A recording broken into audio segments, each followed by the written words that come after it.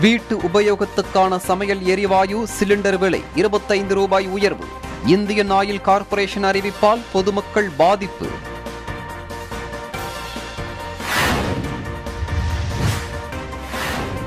தமிழகம் முழுவதும் மூன்றாவது நாளாக தடுப்பூசி செலுத்தும் பணிகள் நிறுத்தம். தடுப்பூசிகளை தட்டுப்பாடின்றி வழங்கக் கோரி பல இடங்களில் மக்கள் ஆர்ப்பாட்டம்.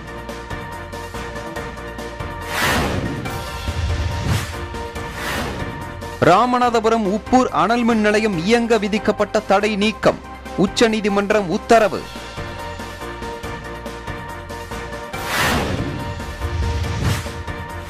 காஞ்சிபுரம் அரசு மருத்துவமனையில் ஒப்பந்த அடிப்படையில் பணியமர்த்தப்பட்ட செவிலியர்கள் பணி நீக்கம். ஒரு மாத சம்பளம் கூட தரப்படவில்லை என வேதனை.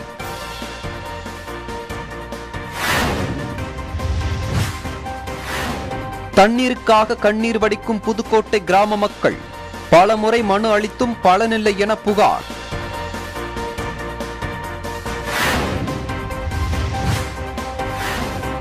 இலங்கை சரக்கு கப்பலில் ஏற்பட்ட தீ விபத்தால் ரசாயன கழிவு கலக்கும் அபாயம். ராமேஸ்வரம் மீனவர்கள் பிடித்து வந்த மீன்களை ஆய்வுக்குட்படுத்திய விஞ்ஞானிகள் குழு.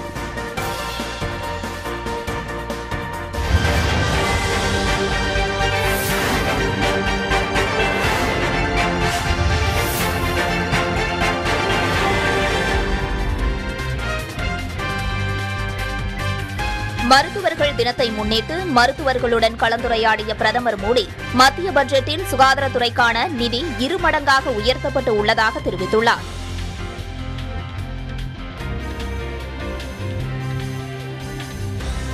அரசு பள்ளிகளில் ஒன்பதாம் வகுப்பு முதல் பனிரெண்டாம் வகுப்பு வரை படிக்கும் மாணவர்களுக்கு இலவச லேப்டாப் வழங்க ஆந்திர அமைச்சரவையில் ஒப்புதல் அளிக்கப்பட்டுள்ளது.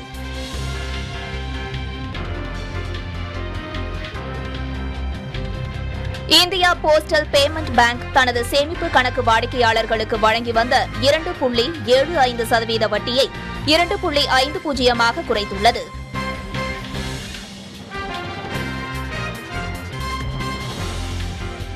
தொன்னூற்று ஆறுக்கும் மேற்பட்ட நாடுகளில் பரவியுள்ள டெல்டா வகை வைரஸ் அதிதீவிர வைரஸாக உருமாற்றமடைந்து வரும் மாதங்களில் ஆதிக்கம் செலுத்தும் என உலக சுகாதார அமைப்பு எச்சரிக்கை விடுத்துள்ளது.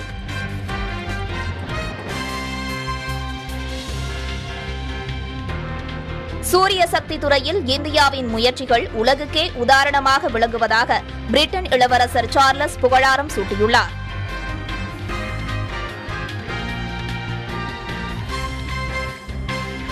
தங்களது கடல் எல்லைக்குள் அத்துமீறி நுழைந்த பிரிட்டன் போர் கப்பலுக்கு அமெரிக்காவின் கண்காணிப்பு விமானம் உதவி செய்ததாக ரஷ்ய அதிபர் விளாடிமிர் புதின் குற்றம் சாட்டியுள்ளார்.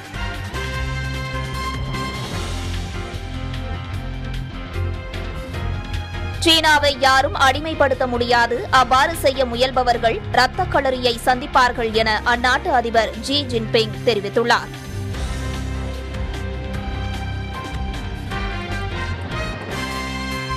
நாட்டின் பொருளாதார சீரழிவுக்கு உயர்நிலை அதிகாரிகள்தான் காரணம் என குற்றம் சாட்டியுள்ள வடகொரிய அதிபர் கிம் ஜாங் உன் நூற்றுக்கணக்கான உயர் அதிகாரிகளை நீக்கியுள்ளார்.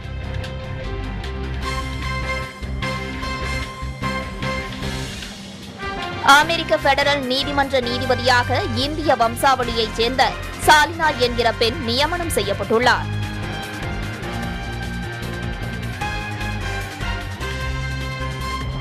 ஆப்கானிஸ்தானில் பாதுகாப்பு படையினர் நடத்திய வான்வழி தாக்குதலில் முப்பத்தி மூன்று தலிபான் பயங்கரவாதிகள் கொல்லப்பட்டனர்.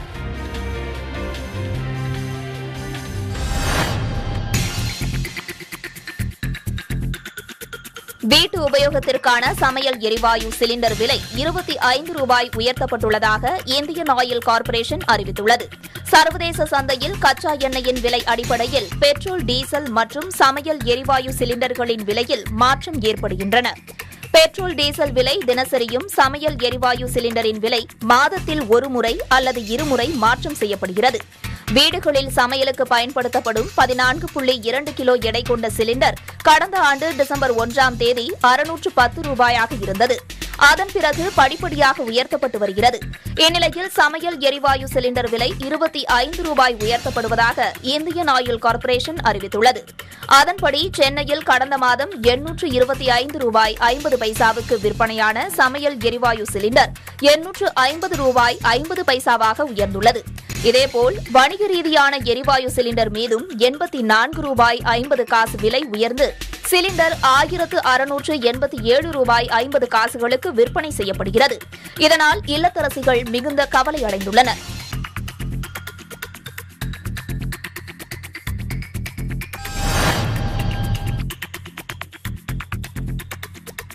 தமிழகம் முழுவதும் மூன்றாவது நாளாக நிலவும் தட்டுப்பாட்டால் தடுப்பூசி போடுவது நிறுத்தப்பட்டுள்ளது. தமிழகத்தில் கொரோனா இரண்டாவது அலை தாக்கத்திற்கு பிறகு தடுப்பூசி போடுவதற்கு பொதுமக்கள் ஆர்வம் காட்டி வருகிறார்கள். பதினெட்டு வயதுக்கு மேற்பட்ட அனைவரும் தடுப்பூசி செலுத்திக் கொள்ளலாம் என்று அறிவிக்கப்பட்டுள்ளதால் தற்போது கூட்டம் அதிகரித்து வருகிறது. தமிழகத்திற்கு மத்திய அரசிடமிருந்து இதுவரை ஒரு கோடியே நாற்பத்தி ஆறு லட்சத்து முப்பத்தி ஒன்பதாயிரத்து தொள்ளாயிரத்து நாற்பது தடுப்பூசிகள் பெறப்பட்டது. இதில் ஒரு கோடியே நாற்பத்தி ஐந்து லட்சத்து ஐம்பதாயிரத்து நானூற்று தொன்னூற்றி நான்கு தடுப்பூசிகள் செலுத்தப்பட்டுள்ளன. இந்த மாதம் எழுபத்தி ஒரு லட்சத்து ஐந்தாயிரம் டோஸ்கள் தமிழகத்திற்கு ஒதுக்கப்படுகிறது. இதில் பதினேழு லட்சத்து எழுபத்தி ஐந்தாயிரம் டோஸ்கள் தனியார் மருத்துவ மருத்துவமனைகளுக்கு வழங்கப்பட உள்ளன. ஐம்பத்தி மூன்று லட்சம் டோஸ்கள் மட்டும் அரசு மையங்களுக்கு பயன்படுத்தப்பட உள்ளன. கடந்த மாதத்தை விட மூன்று லட்சம் டோஸ் அதிகமாக ஒதுக்கப்பட்டாலும் தடுப்பூசி தட்டுப்பாடு நீடிப்பதற்கு வாய்ப்பு உள்ளது. தமிழகம் முழுவதும் தடுப்பூசி தட்டுப்பாடு கடந்த மூன்று நாட்களாக நிலவி வருகிறது. பொதுமக்கள் வரிசையில் நீண்ட நேரம் காத்திருந்த பின்னர் தடுப்பூசி இருப்பு இல்லை என்று தெரிவிக்கப்பட்டதால் பல இடங்களில் வாக்குவாதம் ஏற்பட்டது. தடுப்பூசி போட வந்த மக்கள் ஆர்ப்பாட்டத்தில் ஈடுபட்டனர்.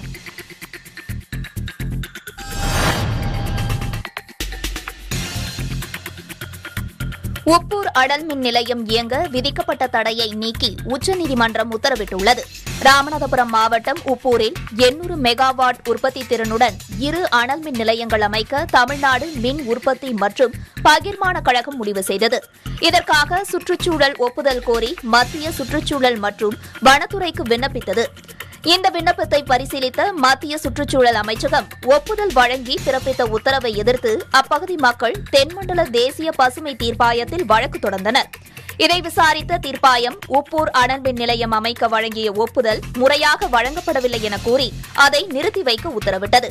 இதையடுத்து பசுமை தீர்ப்பாயத்தின் உத்தரவை எதிர்த்து உச்சநீதிமன்றத்தில் மேல்முறையீடு செய்யப்பட்டது. இந்த மனுவை விசாரித்த உச்சநீதிமன்றம் அப்போது இந்த திட்டத்தை நிறுத்தி வைத்துள்ளதால் மாதத்திற்கு ஐநூறு கோடி ரூபாய் இழப்பு ஏற்படுவதாகவும் அங்கு இருக்கக்கூடிய கருவிகள் மற்றும் பொருட்கள் பழுதடைந்துவிடும் என்றும் தமிழக அரசு சார்பில் வாதிடப்பட்டது. இதனைத் தொடர்ந்து மனுதாரர் மற்றும் சுற்றுச்சூழல் துறை பதிலளிக்க உச்சநீதிமன்றம் உத்தரவிட்டது. மேலும் உப்பூர் அனல் மின் நிலையம் இயங்க விதிக்கப்பட்ட தடையையும் உச்சநீதிமன்றம் நீக்கியுள்ளது.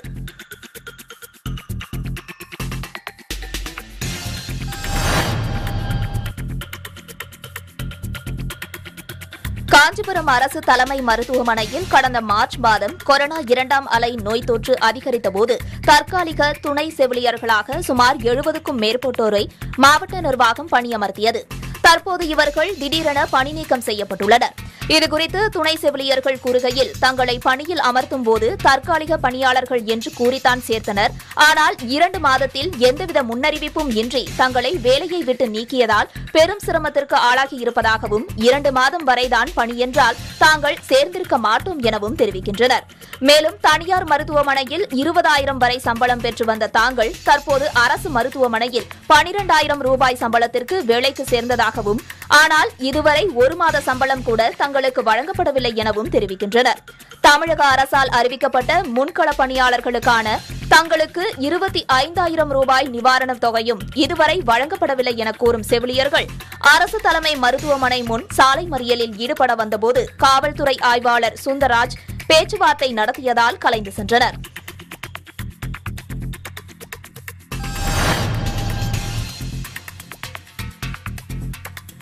புதுக்கோட்டை மாவட்டம் செம்பட்டி விடுதி அருகே உள்ள களபம் கிராமத்தில் கடந்த ஏழு ஆண்டுகளாக களிமண் கலந்து கழிவுநீர் போல் குடிநீர் வருவதாகவும் இதை குடிப்பதால் அங்குள்ள குழந்தைகள் மற்றும் பொதுமக்கள் பல்வேறு நோய் தொற்றுக்கு ஆளாகி வருவதாகவும் மக்கள் புகார் தெரிவிக்கின்றனர். நாங்கள் எங்களுக்கு ஒரு ஏழு வருஷமா தண்ணி பிரச்சனை சார். இங்கே ஒரு பள்ளம் தோண்டி பிடிச்சோம் அங்கே ஒரு பள்ளம் தோண்டி பிடிச்சோம். இது வந்து ஒரு சாக்கடை மாதிரி கிடக்குது. இதில் நாங்கள் வந்து ஒரு பைப்பு இந்த இதை இதை ஓசை போட்டு இதை கட்டி நாங்கள் பிடிக்கிறோம்.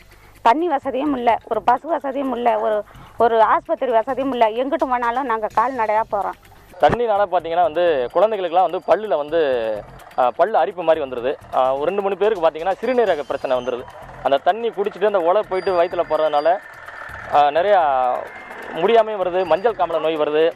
சரியாக வந்து யாருமே வந்து ரீசர்ச் போகும்போது வந்து பார்த்திங்கன்னா ஒரே மஞ்சள் கலராக போகுது. இதனால் வந்து மக்கள் ரொம்ப அச்சப்படுறோம் நாங்கள் மக்களுக்கான பிரச்சனை இதுதான்.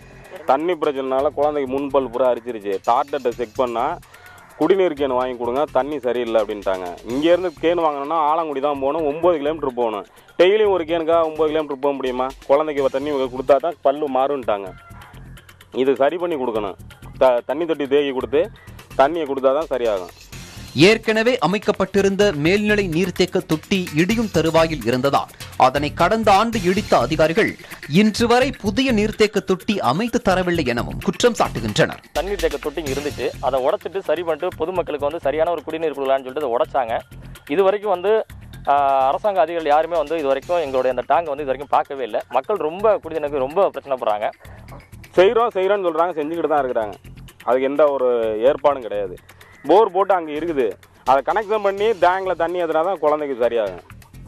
குடிதண்ணீர் தேடி தாங்கள் பல மைல் தூரம் செல்லும் நிலை உள்ளதாகவும் வேதனை தெரிவிக்கின்றனர். தங்களுக்கு தூய்மையான குடிநீர் வேண்டும் என பலமுறை ஒன்றிய அதிகாரிகளிடமும் மாவட்ட நிர்வாகத்திடம் கோரிக்கை மனு கொடுத்தும் பலன் ஏதும் இல்லை என கூறுகின்றனர். களபம் கிராம மக்கள்.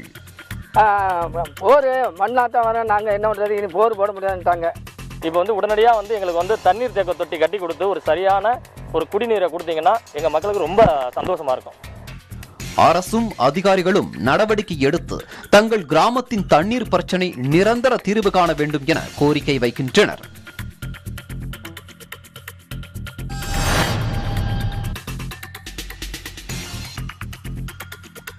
தலைநகர் கொழும்பு துறைமுகத்தில் நிறுத்தி வைக்கப்பட்டிருந்த சிங்கப்பூர் சரக்கு கப்பலில் கடந்த மே இருபத்தி மூன்றாம் தேதி ஏற்பட்ட தீ விபத்தில் கப்பலில் இருந்த பெட்டகங்கள் எரிந்து சேதமானது.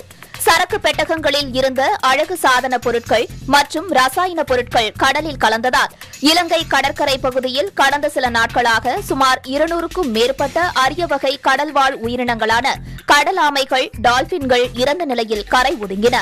இந்நிலையில் எழுபத்தி ஐந்து நாட்கள் மீன்பிடி காலம் முடிந்து ராமேஸ்வரம் மீனவர்கள் மீன்பிடித்துவிட்டு கரை திரும்பினர். அவர்கள் பிடித்து வந்த கணவாய் இறால் மீன்கள் உள்ளிட்டவைகளை மத்திய கடல் மீன் ஆராய்ச்சி நிறுவன விஞ்ஞானி ரம்யா தலைமையிலான விஞ்ஞானிகள் குழு ஆய்வு செய்தனர். மீன்களின் செதில்களில் எண்ணெய் மாதிரிகள் உள்ளதா மீன் வாய்களில் பிளாஸ்டிக் துகள்கள் உள்ளதா என்றும் அதேபோல் இறால்கள் நண்டுகளின் உருவ அமைப்பு நீளம் அகலம் உள்ளிட்டவைகள் முழுமையாக ஆய்வு செய்தனர். ஆய்வின் முடிவு குறித்து விரைவில் அறிக்கை தாக்கல் செய்யப்பட உள்ளதாகவும் இதுவரை நடத்திய ஆய்வில் ரசாயன கழிவுகள் ஏதும் தென்படவில்லை எனவும் விஞ்ஞானிகள் தரப்பில் கூறப்பட்டுள்ளது.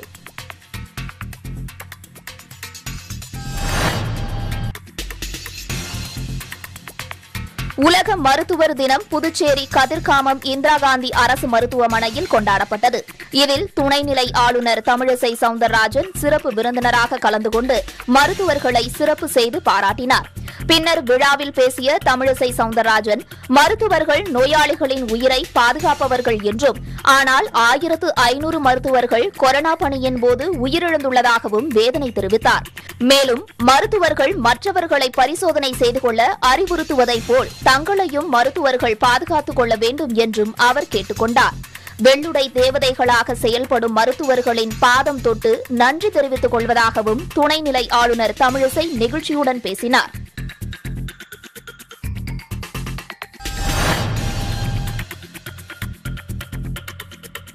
அரசின் அங்கீகாரம் பெற்ற ஓட்டுநர் பயிற்சி மையங்களில் பயில்வோர்.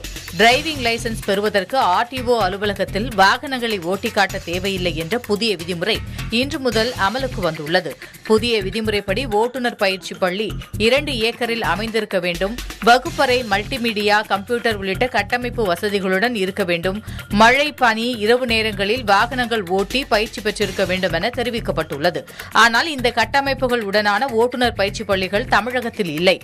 அரசால் அங்கீகரிக்கப்பட்ட ஓட்டுநர் பயிற்சி பள்ளியில் இப்படி பல்வேறு விதமான பயிற்சிகள் எடுத்தவர்களுக்கு மட்டுமே இட்டு போடாமல் ஓட்டுநர் உரிமம் வழங்க முடியும். ஆனால் அதுபோல் பள்ளிகள் தமிழகத்தில் பெரும்பாலும் இல்லாத காரணத்தால் வட்டார போக்குவரத்து அலுவலகங்களில் பழைய முறையை பின்பற்றி எட்டு போட்டால்தான் ஓட்டுநர் உரிமம் வழங்கப்படுகிறது என்பது குறிப்பிடத்தக்கது.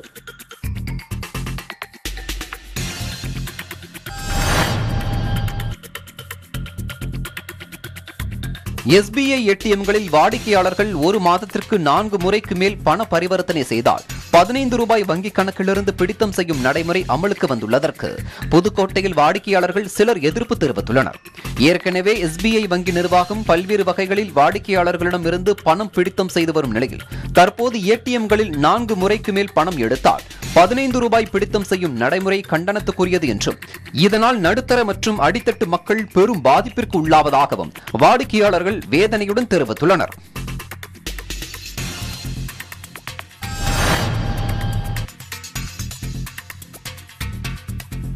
தஞ்சை மாவட்டம் திருவையாறு மற்றும் அதன் சுற்றுவட்டார பகுதியில் காற்றுடன் கூடிய பலத்த மழை பெய்ததால் பொதுமக்கள் மகிழ்ச்சி அடைந்தனர். வெப்பம் தணிந்து குளிர்ச்சி நிலவிய இதமான சூழல் காணப்பட்டதால் பொதுமக்கள் நிம்மதி அடைந்துள்ளனர். குறுவைக்கு நாற்றங்கால்களில் விதை விதைத்து தண்ணீர் இறைக்க சிரமப்பட்டு வந்த நிலையில் இந்த மழை பயனுள்ளதாக இருக்கும் என விவசாயிகள் கருதுகின்றனர்.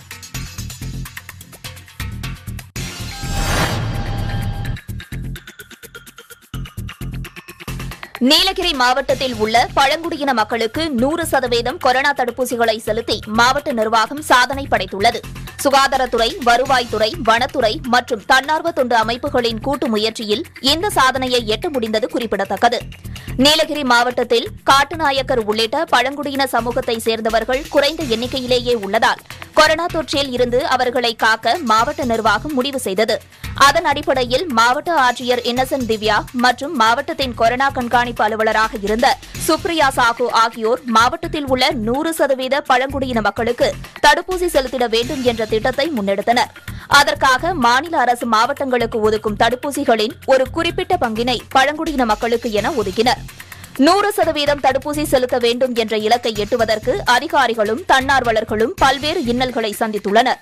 தடுப்பூசி செலுத்திக் கொள்ள ஆர்வமில்லாத பழங்குடியின மக்களிடம் விழிப்புணர்வு ஏற்படுத்த தன்னார்வலர்களும் உதவியுள்ளனர். நாங்கள் ஒரு டீம் டீம் டீமாகவே போவோம். வில்லேஜில் அறிவிப்பு அவங்களுக்கு அந்த அவேர்னஸ் கொடுக்கறதுக்காக. ஆனால் அதுக்கு போகும்போது எங்கள் மக்கள் எங்ககிட்டயே ரொம்ப அவங்க கோவப்பட்டு பேசி வில்லேஜுக்குள்ளே எங்களை ஏற்றாம எல்லாம் துரத்தியெல்லாம் விட்டுருக்காங்க. அவங்க கோவப்பட்டு பேசும்போது நாங்கள் வந்து அவங்க திட்டிட்டாங்க. நம்பி நீ போக வேண்டான்ட்டு நாங்கள் இருக்கல. அந்த திட்டுன வில்லேஜுக்கே நாங்கள் வந்து பல முறை போனோம். பல முறை போகும்போது அவங்க வந்து கொஞ்சம் கொஞ்சமாக நாங்கள் சொல்கிறத கொஞ்சம் பேர் கொஞ்சம் பேர் ஏற்றுக்க தொடங்கினாங்க. அவங்கக்கிட்ட திட்டு வாங்கினோம். அவங்க நான் அவங்க வந்து புரியா அது புரியாதனால தான் திட்டினாங்க. அவங்களுக்கு பின்ன புரிஞ்சதுக்கப்புறம் யாரும் திட்டல. ஒ- ஒரு ஃபஸ்ட்டு கொஞ்சம் பேர் போடுவா போட்டாங்க. அதை பார்த்து இனி கொஞ்சம் பேர் போடுறாங்க. அதை பார்த்து பின்ன அந்த வில்லேஜே போடுறாங்க.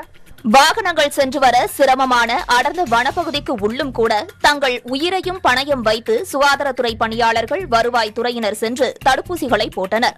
அதிகாரிகள் காட்டாற்று வெள்ளத்தில் சிக்கிக்கொண்ட சம்பவமும் ஆற்று வெள்ளத்தில் சிக்கிக்கொண்ட சம்பவமும் கூட நிகழ்ந்துள்ளது. இரவு நேரம் வனத்துறை உதவியுடன் மொபைல் போன் டார்ச் வெள்ளத்தில் சென்ற சுகாதாரத்துறை பணியாளர்கள் இரவோடு இரவாக தடுப்பூசிகளை போட்ட நாட்களும் உண்டு. ஆரம்பத்தில் ஊசி போட்டால் ஏதாச்சும் ஆகுமோ தான் ஆரம்பத்தில் எல்லாத்துக்கும் ஒரு பயம்.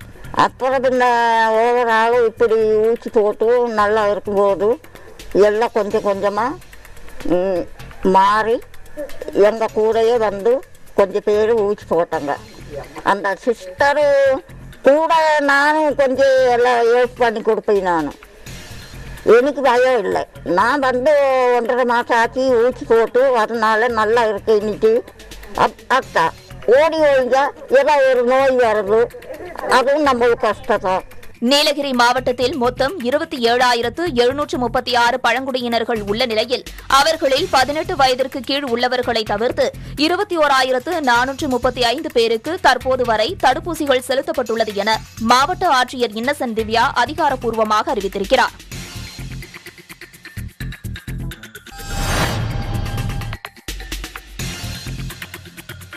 வத்தலகுண்டு அடுத்துள்ள ஐயம்பாளையம் மருதா நதி அணை ஆயிரத்து தொள்ளாயிரத்து எழுபத்தி ஒன்பதாம் ஆண்டு கட்டி முடிக்கப்பட்டது. சுமார் நூற்று எழுபத்து ஒன்பது ஏக்கர் பரப்பளவில் எழுபத்து நான்கு அடி உயரம் கொண்ட இந்த அணையின் மூலம் ஆறாயிரத்து ஐநூற்று எண்பத்து மூன்று ஏக்கர் பரப்பளவு நிலம் பாசன வசதி பெறுகிறது. அணையின் மதகுகள் மற்றும் கால்வாய் மதகுகள் துருப்பிடித்து அரிப்பு ஏற்பட்டு இருப்பதால் சமீப காலமாக தண்ணீர் கசிவு இருந்து வருகிறது. இதனைத் தொடர்ந்து நபார்டு வங்கி உதவியின் மூலம் ரூபாய் இரண்டு கோடி வரை செலவு செய்து அணை மதகுகள் மற்றும் இயந்திரங்கள் புதுப்பிக்கும் பணி நடைபெற்று வருகிறது. மதகுகள் பழுது நீக்கப்பட்டு தண்ணீர் கசியாத வண்ணம் புதுப்பித்து வண்ணம் தீட்டும் பணிகள் தொடர்ந்து நடைபெற்று வருகின்றன.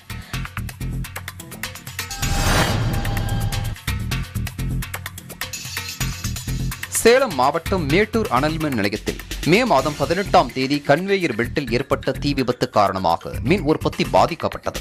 நாற்பத்தி மூன்று நாட்கள் நடைபெற்ற புனரமைப்பு பணி நிறைவடைந்து ஒன்று மற்றும் இரண்டாவது அலகில் மின் உற்பத்தி தொடங்கியது. இதனை அடுத்து மூன்றாவது அலகிலும் மின் உற்பத்தி தொடங்கப்பட்டுள்ளது.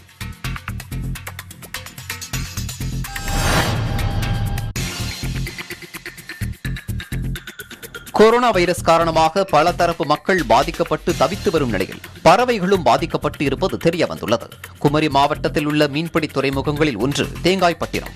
இந்த துறைமுகத்தில் தினசரி ஆயிரக்கணக்கான படகுகளில் மீனவர்கள் கடலுக்கு சென்று பிடித்து வரும் மீன்களை இத்துறைமுகத்தில் இறக்கி விற்பனை செய்வது வழக்கம். இந்நிலையில் இத்துறைமுகம் மூன்று மாதங்களுக்கு முன்பு கொரோனா தொற்று காரணமாக மீன்பிடித்து இங்கு வந்து இறக்கி விற்பனை செய்ய தடை விதித்தது. மேலும் விசை படகுகள் மீன்பிடிக்க தடை விதிக்கப்பட்டிருப்பதாலும் இந்த துறைமுகத்தில் மீன் வரத்தோ விற்பனையோ இல்லாமல் காணப்பட்டு வருகிறது. எனவே துறைமுகத்தில் கிடைக்கும் மீன் கழிவுகளை உணவாக உண்டு வரும் பறவைகள் உணவின்றி தவித்து வருகின்றன.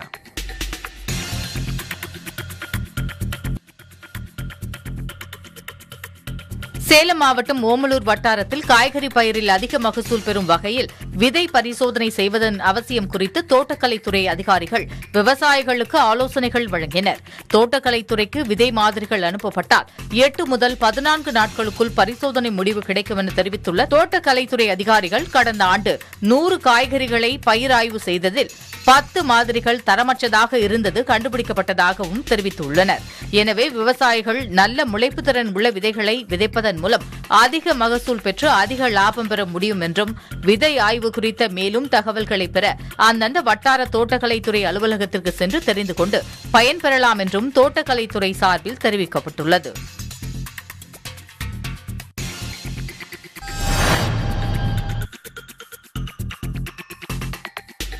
ஈரோடு மாவட்டத்தில் இன்று எண்பது இடங்களில் எட்டாயிரம் கோவிஷீல்டு தடுப்பூசி செலுத்தப்படும் என மாவட்ட நிர்வாகம் சார்பில் தெரிவிக்கப்பட்டுள்ளது. இதனையடுத்து பொதுமக்கள் கற்கள் வைத்து இடம் பிடித்து இரவு முதல் காத்திருந்தனர். ஈரோடு காலைமாட்டு சிலை அருகே உள்ள மாநகராட்சி பள்ளி தடுப்பூசி மையத்தில் காத்திருந்த பொதுமக்கள் சமூக இடைவெளியை பின்பற்றாமல் நீண்ட வரிசையில் நின்றனர். தடுப்பூசி செலுத்தும் மையங்களில் பொதுமக்கள் அரசு அறிவித்துள்ள கட்டுப்பாடுகளை முறையாக பின்பற்ற வேண்டும் என சமூக ஆர்வலர்கள் கோரிக்கை விடுத்துள்ளனா்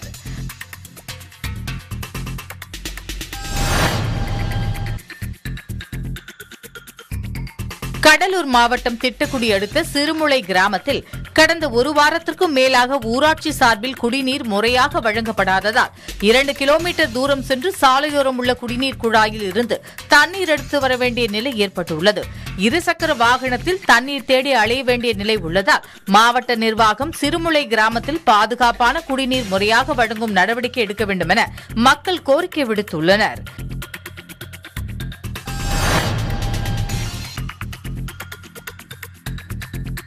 மலை கிராமத்தில் இருந்து பிரசவத்துக்காக அழைத்து வரப்பட்ட பெண்ணுக்கு ஆட்டோவிலேயே குழந்தை பிறந்தது.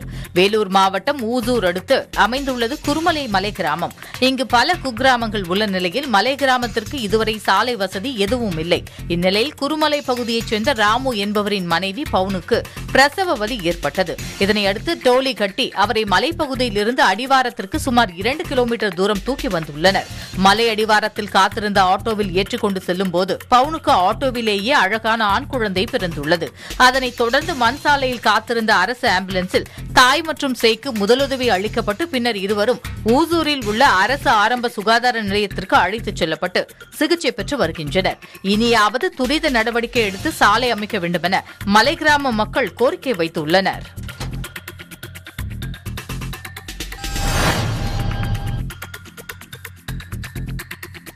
நெல்லை மாவட்டம் பெட்டைக்குளம் கிராம மக்களின் தேவைக்காக கடந்த ஒரு வருடத்திற்கு முன் ஊரின் நடுவில் ஆரம்ப சுகாதார நிலையம் கட்டும் பணிகள் தொடங்கப்பட்டது. பணிகள் முடிக்கப்பட்டு ஆறு மாதங்கள் ஆகியும் இதுவரை திறக்கப்படாமல் உள்ளது. இதனால் இந்த பகுதியில் உள்ள பொதுமக்கள் மருத்துவ தேவைக்காக எட்டு கிலோமீட்டர் தொலைவில் உள்ள திசையன் விளை அரசு மருத்துவமனைக்கு செல்ல வேண்டிய நிலை உள்ளது. மேலும் இரவு நேரங்களில் அவசர மருத்துவ தேவைக்கு வெளியே செல்ல முடியாமல் சிரமப்பட்டு வருகின்றனர். கட்டி முடிக்கப்பட்டு திறக்கப்படாமல் உள்ள ஆரம்ப சுகாதார நிலையத்தை உடனே திறக்க நடவடிக்கை எடுக்க வேண்டும் என்று அந்த பகுதி மக்கள் கோரிக்கை விடுத்துள்ளனர்.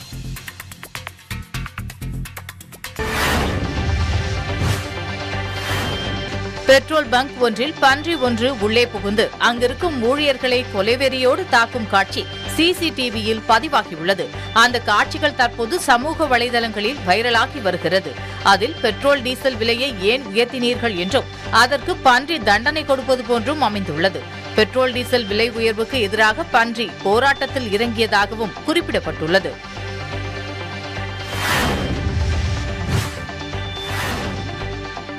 தேனி மாவட்டம் பெரியகுளம் அருகே கோவாவில் இருந்து கடத்தி வந்து தோட்டத்தில் பதுக்கி வைக்கப்பட்டிருந்த இரண்டாயிரம் மதுபாட்டில்கள் பறிமுதல் செய்யப்பட்டதுடன் இது தொடர்பாக தோட்ட உரிமையாளர் கைது செய்யப்பட்டுள்ளார்.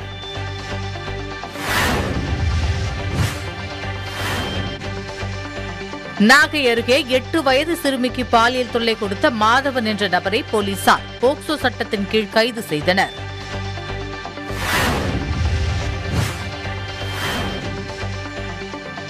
சென்னையை அடுத்த திருமுல்லைவாயில் ஜெயாநகர் நரிக்குறவர் காலனி பகுதியில் ஆவடி மாநகர நல அலுவலர் ஹசீன் முகமது உள்ளிட்ட அதிகாரிகள் தடுப்பூசி செலுத்துவதற்காக வந்தனர். ஆனால் தடுப்பூசி மையத்தில் அந்த பகுதி மக்கள் யாரும் தடுப்பூசி போட முன்வரவில்லை. இதனால் கொரோனாவின் வீரியம் குறித்தும் அதனால் ஏற்படும் பாதிப்புகள் குறித்தும் அந்த பகுதி மக்களுக்கு மாநகர நல அலுவலர் விளக்கி கூறியதை அடுத்து நரிக்குறவ மக்கள் ஒவ்வொருவராக வந்து தடுப்பூசி போட்டுக் கொண்டனர்.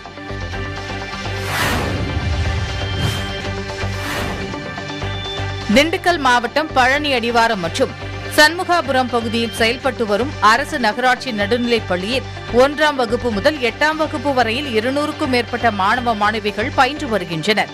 தனியார் பள்ளி மோகம் பெற்றோர்கள் இடையே அதிகரித்து வருவதால் அதனை மாற்றும் வகையில் பழனியில் உள்ள நகராட்சி நடுநிலைப் பள்ளிகளில் தனியார் பள்ளிக்கு இணையாக நவீன வகுப்பு அறைகளை உருவாக்கி பெற்றோர்கள் மற்றும் மாணவர்களை கவர்ந்து வருகின்றனர். ஸ்மார்ட் பள்ளியாக மாற்றியதில் இருந்து இந்த பள்ளியில் பெற்றோர்கள் ஆர்வத்துடன் தங்களின் பிள்ளைகளை சேர்த்து வருகின்றனர்.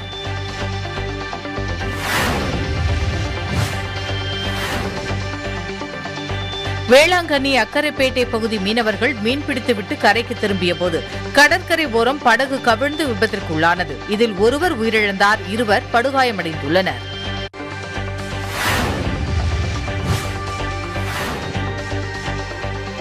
மதுரையில் கொரோனா தடுப்பூசிக்கு தட்டுப்பாடு நிலவுவதால் முப்பத்தைந்து இடங்களில் மட்டுமே தடுப்பூசி செலுத்தப்பட்டு வருகிறது. இதனையொட்டி பொதுமக்கள் நீண்ட வரிசையில் காத்திருந்து தடுப்பூசி செலுத்தி வருகின்றனர்.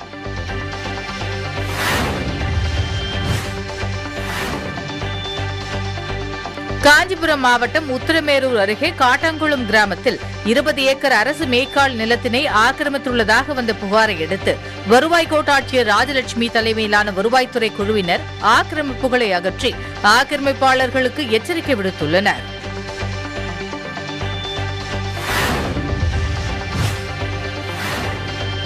மதுரை ரயில்வே கோட்டத்தில் உள்ள நான்கு வழித்தடங்களில் ரயில்கள் இயக்கும் வேகத்தை அதிகரிப்பதற்கான பணிகள் இந்த ஆண்டு இறுதிக்குள் முடிக்கப்படும் என ரயில்வே நிர்வாகம் தெரிவித்துள்ளது. தகவல் அறியும் உரிமை சட்டத்தின் மூலம் இத்தகவல் தெரிய வந்துள்ளது